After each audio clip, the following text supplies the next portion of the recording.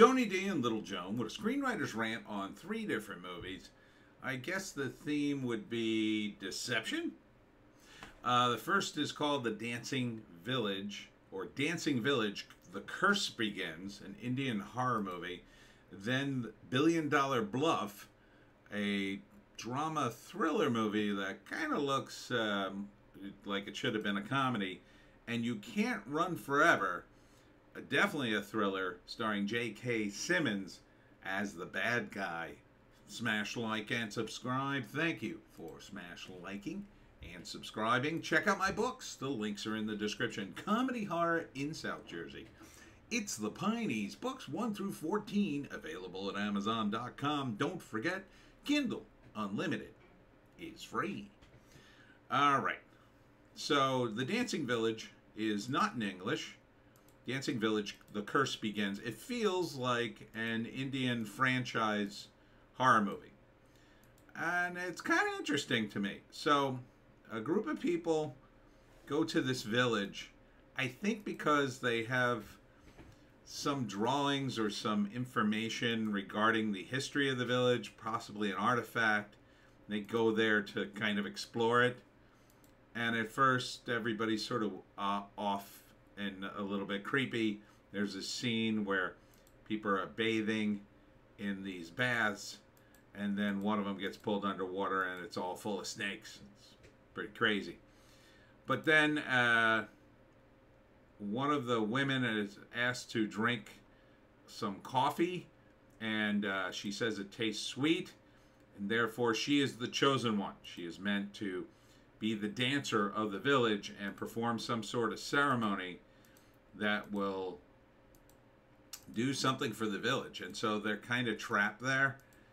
I don't know, there's a scene where they're like picking I think they're picking in the village, I guess. or are they talking to the villagers who are gardening? I don't know. But then uh, then the, the, the girl who's the chosen one is I don't know, they, they, they sort of kidnap her and uh, she dances and then she gets possessed. So it's kind of interesting. I don't really understand the um, the mythos behind it, um, but scary things are happening. See, that's scary. Uh, and so uh, I'm kind of interested in. There's like this sort of theme of snakes.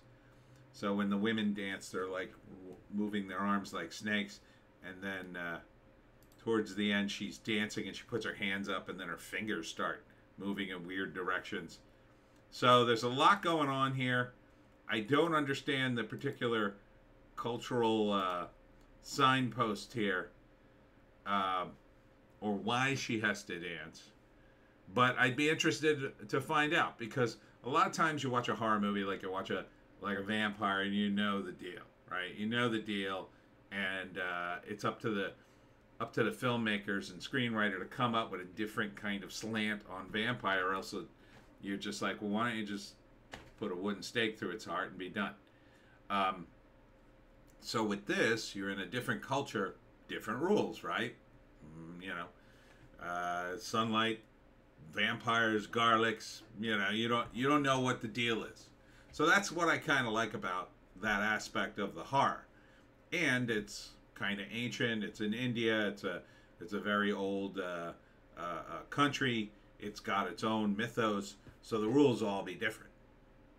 And it's not the United States, therefore it's not necessarily that the characters will have all the modern conveniences immediately at their disposal like the characters in the United States do, does.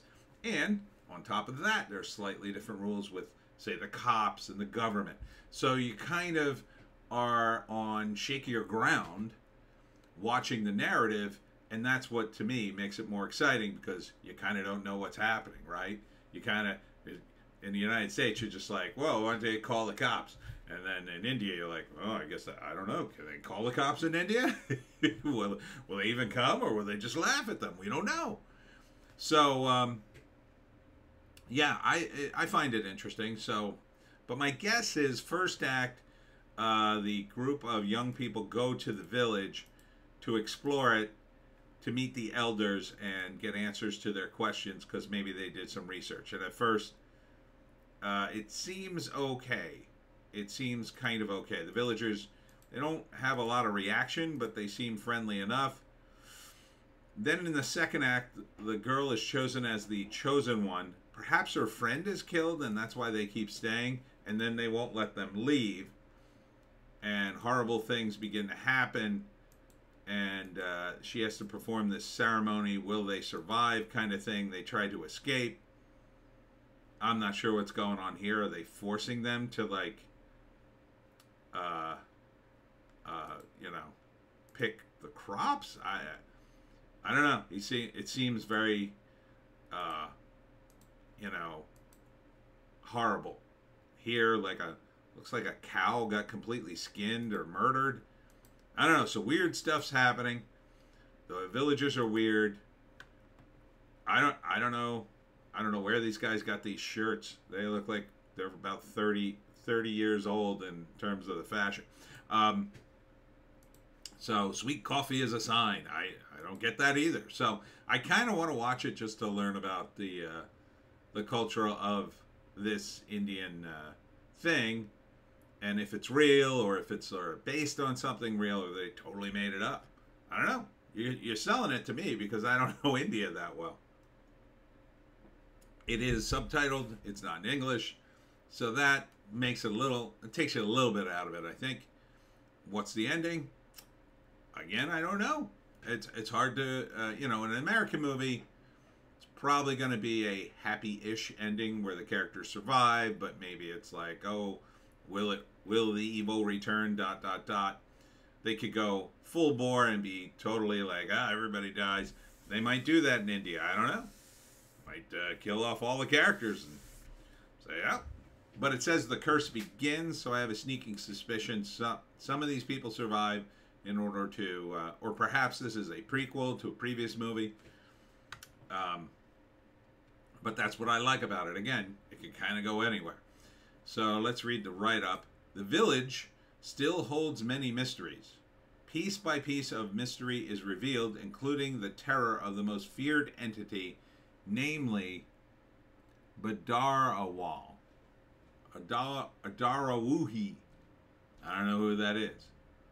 That that is that something from Indian mysticism? I'm sort of guessing it is. So uh, yeah, I would kind of see this. Uh, it seems interesting. All right, next up is The Billion Dollar Bluff. It's billed as a drama thriller, but it feels more uh, wonky than that. It's about a girl who helps her mom clean uh, houses, but she pretends she's rich, tells everyone her dad's a billionaire, and then she gets kidnapped by kidnappers who think they've kidnapped uh, uh the daughter of a billionaire. So they decide to get rid of her but she pitches them the following idea. You guys could rob uh, the houses and make yourself a cool half mil. Uh, and that was the uh, uh, uh, ransom they were asking. In return, she wants her, she wants 5 million followers on Instagram. And they're going to document the kidnapping, but she'll help them not get caught. Um, seems a, a bit risky and stupid, but I could kind of see it. I could kind of see it. I'm not sure who the the the good guy in this movie is. I'm not I'm not so sure we're supposed to be rooting for the girl. She seems pretty damn cynical that you would do that. Um, and the uh, the villains uh, don't seem particularly good either. So, um, but kind of an interesting concept, I guess. Um, so her follower count's going up and up as she's kidnapped, and then they're going to rob houses while they, I don't know, cart her around. I don't quite understand how they're going to explain the kidnapping, and it seems to me that they would kill her at the end because that would be the only reason they would get away, right? So, first act, she's uh, pretending she's a billionaire or heiress but she really helps clean the houses with her mom, and then she gets kidnapped by the kidnappers. Second act, kidnappers realizes she's no one, and they're going to kill her, and then she pitches the idea, hey, uh, get me five million followers and I'll get you half a million dollars. You could rob the houses. So they start doing that. Um, the robbers eventually stop listening to her and rob whoever they want. They get rich, and then, of course, they probably get greedy and they're robbing even more houses that she doesn't want them to rob. And eventually they start killing people. And eventually she, I don't know what's happening here. It looks like she commits suicide. I don't know. But eventually, uh, I think she gets in over her head, and then she has to escape and learn an important lesson. Um, and then in the end, she loses all her followers. Would be only the only thing I could see that would justify the ending. Um, but they call it a drama thriller. I, I think it should have been a comedy. I think this should have been a comedy. It would have been fun with a teenage protagonist. Would have been more realistic. The teenager is, uh, you know, you could kind of forgive a teen for doing something so crazy. You could give her reason for why she wants to beat her friend who has, let's say, 10,000 followers. At first, she wants 20,000 followers, but then she gets 5 million. And then maybe that impacts her in a negative way. So, let's see if there's a write up. When a popular influencer gets kidnapped and held for ransom, she grips the media's attention by helping the criminals rob luxurious mansions. So it, it, it's more of a fun concept. I think it should have been a comedy. I, I don't think you should make it a drama thriller. I don't really, you know, I can't take an influencer all that seriously as part of the problem. I see these people as clowns. So, um, you know, I can't root for her. I can't root for the kidnappers. Who the heck am I going to root for? You know, unless they really do something to make me understand the influencer. Well, this is their only way to make money, and she's trying to raise it for her mom, and she's sick. Then maybe, but there doesn't seem to be that kind of setup here. Uh, this is, uh, I think, also on. I think this is also on Tubi. Um, and finally, You Can't Run Forever, starring J.K. Simmons. Now, this is definitely a thriller. He is some sort of uh, business guy who teaches survival classes, but one day he gets home and I think he kills his wife. I think he kills her. And then I think possibly she was having an affair or he or he thinks she was having an affair with this guy. Possibly. I don't know. I'm just making a guess at that because it doesn't seem to be, be any reason. So he pulls the guy over, kills the dad. Uh, he sacrifices himself basically to let his daughter get away. And um, J.K. Simmons is now hunting her. So the ironic thing, of course, is J.K. Simmons is an expert survivalist in this movie and the, the girl is not. And then he keeps not capturing her and killing various campers and people that she meets along the way. Um, and JK is pretty good. He's always good. Um, very capable killer. Here he kills, uh, I think, a bunch of um, hunters. Says, "Oh man, I, I almost shot you." Oh, what? Like this? And he shoots them. So some pretty good lines. Pretty good lines, I would say.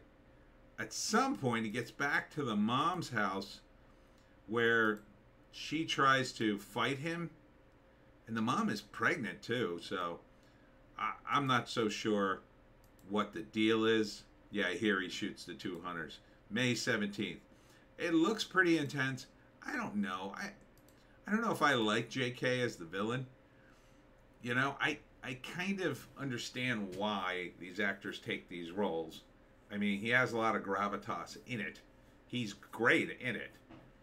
But it kind of, to me, uh, after this, I couldn't see him as anything else, almost. Because he's very strong in it. So, but when I see it, maybe. It looks pretty good.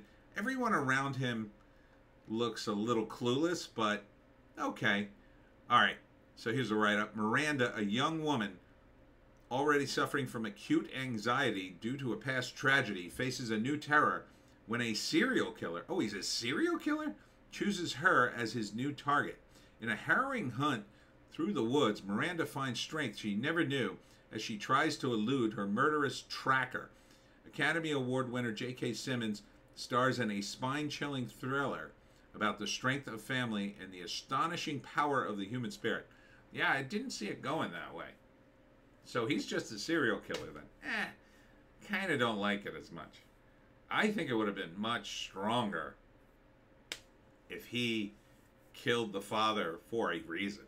Like he kills him because he's just like, oh yeah, he uh, he kills his wife and then he says, you know what, I'm killing her lover, and then you know the girl's a witness. He has a whole plan to get away, and now he can't get away with the girl as a witness, so he's got to kill her.